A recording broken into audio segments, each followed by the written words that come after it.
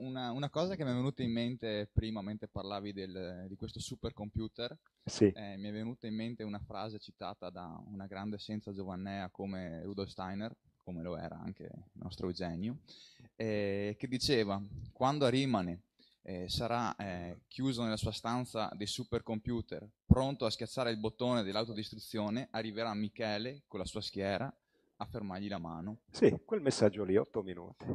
E un'altra cosa che mi è venuta sì, sempre... Certo, la grande battaglia è tra l'arcangelo Michele o Astrasheran, che vuol dire caposanto, sì. e Lucifero. che è il padre, di, il padre, di, Satana. Reso benissimo nel film di Mel Gibson, quando Cristo sta andando nella via Crucis, c'è eh, la figlia di Celentano, poi è Rosita, se non erro, tutta vestita di nero, che c'è in, in braccio un bambino mostruoso. Lei è Lucifero e il bambino mostruoso è Satana. Un'altra cosa che... Che sono esseri reali. Eh, come, eh, forze dell'ostacolo messe, messe, eh, messe, qui dal padre per eh, farci evolvere, no? Anche una, viste in un'altra chiave. Sì e no. no? Allora, certo, la coppia di forze bene e male, più meno, luce e ombra, la vuole Dio, ma non perché la voglia lui. Lui l'ha predisposta nel caso che le sue creature facciano quel tipo di scelta. Nel momento che le creature fanno quel tipo di scelta, di stare col figlio maledetto, rimane, che è Giuda, lui determina questa situazione qui, cioè deve mettere quella umanità sotto selezione. Ora, il progetto di cui parla quel messaggio extraterrestre, io ho detto, è la parabola della gramigna, della zizzania, perché Cristo dice, i servi scoprono che il nemico aveva piantato la zizzania nel campo di grano. I servi se ne accorgono, vanno dal padrone e gli dicono, padrone abbiamo scoperto che il tuo nemico ha piantato la zizzania in mezzo al grano, che facciamo? La estirpiamo? E il padrone dice no, perché quando le piantine sono, piccoli, sono piccole, poi io sono figlio di contadini, sai le sudate, i calli a tirar fuori di zizzania da, dalle vigne di babbo, dice lasciamole crescere insieme perché la zizzania rimane rasoterra e il grano diventa alto. Quindi tagliamo il grano, lo mettiamo nel granaio, poi estirpiamo tutta la zizzania e la bruciamo. Quindi questo periodo, questo processo era necessario da Cristo fino a prima venuta e seconda venuta perché il progetto di Dio per questo mondo è di integrarlo nella grande famiglia cosmica chiamata Regno di Dio in termini biblici. Ma per entrare nel regno di Dio, che è il regno degli umani, gli umani vivono in modo solidario perché sono una famiglia respirano la stessa aria, bevono la stessa acqua, mangiano lo stesso cibo, sono figli della madre terra, tutti indistintamente. Quindi è necessario un processo di selezione e purificazione perché i cittadini del regno, che non può più fallire, come hanno fallito fino ad oggi tutte le civiltà terrestri, devono essere persone incorruttibili. Quindi è necessario che ci sia un processo di maturazione e di crescita dei figli maledetti e dei figli che saranno eletti. Quando il grano sarà maturo, Cristo fa la, la raccolta, fa la mietitura. Perché se il progetto è il regno di Dio, un regno non è un regno se non ci sono gli abitanti.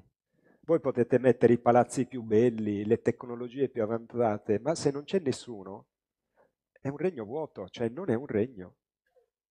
Se noi prendiamo tutti i ricchi del mondo, i loro soldi, i loro diamanti, tutte le loro ricchezze, da soli in un'isola deserta, sono un gruppo di coglioni. Il potere per antonomasia scaturisce dal dominare il popolo. Quindi nel male e nel bene ci vuole un popolo, ma il popolo del regno di Dio deve essere un popolo solidario, etico, di gente che non si corrompe. Quindi per fare il regno Cristo aveva bisogno di un numero minimo di persone che è stato pure detto 7.465.006 persone. Poi c'è un altro risvolto da un punto di vista della struttura planetaria, ma non mi voglio dilungare troppo. Ecco, bisognava raggiungere questo numero di esseri irreprensibili che non si sarebbero venduti per nessuna ricchezza o nessun potere o nessun successo al mondo. Ecco, la bella notizia è che questo numero è stato raggiunto e pure superato. Per questo il male è preoccupato, perché l'hanno capito. Quindi il processo era questo, arrivare al numero minimo per fare il regno, con persone solidarie, disposte pur di non corrompersi a dare la vita, Falcone Borsellino, Gandhi, Martin Luther King o quel commerciante siciliano che ha denunciato quelli del pizzo, com'è che si chiama? Adesso mi sfugge il nome. Eh? Ce ne sono, è grasso, ce ne sono vari. Ecco, nel regno ci va questo tipo di persone. Gli altri non è che Dio li fa sparire, li prende, li deporta in un altro luogo e gli fa ricominciare tutta la storia evolutiva. Purtroppo è lunga, dura circa 700 milioni di anni, però si chiama seconda morte.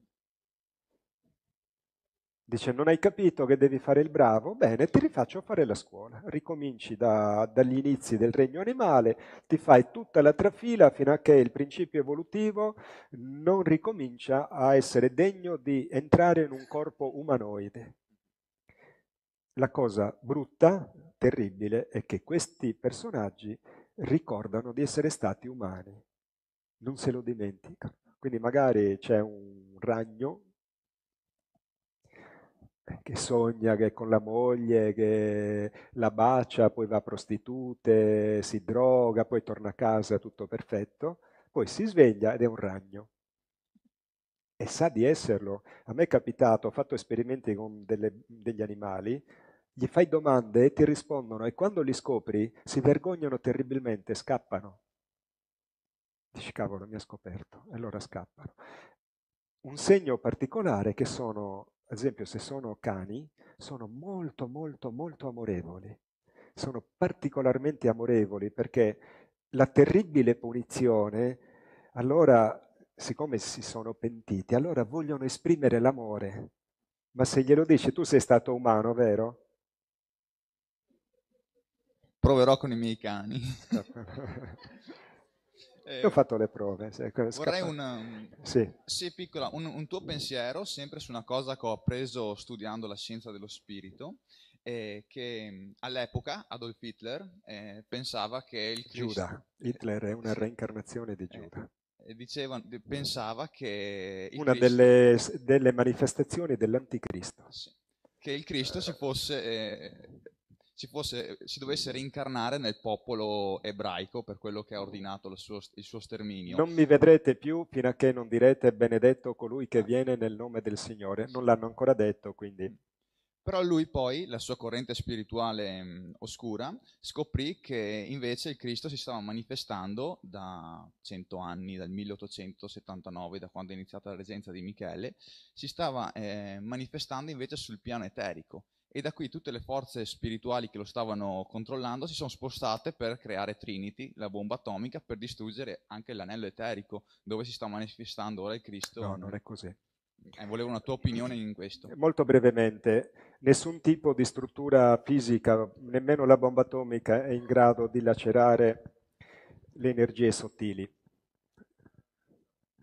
La disarmonia la porta come conseguenza, cioè l'arma atomica distrugge l'anima dell'uomo perché lo fa impazzire a causa dell'avvelenamento, cioè la struttura fisica riverbera nell'animico e riverbera nello spirituale. In realtà Hitler sapeva che stava per incarnarsi Parsifal, che era il precursore, cioè Elia, e quindi lui voleva fare il Reich millenario che è il regno di Satana di mille anni, perché Cristo farà il regno di Dio di mille anni, che poi ha un significato ben preciso se dobbiamo entrare nei termini della spiegazione che significa, ma troppo lungo.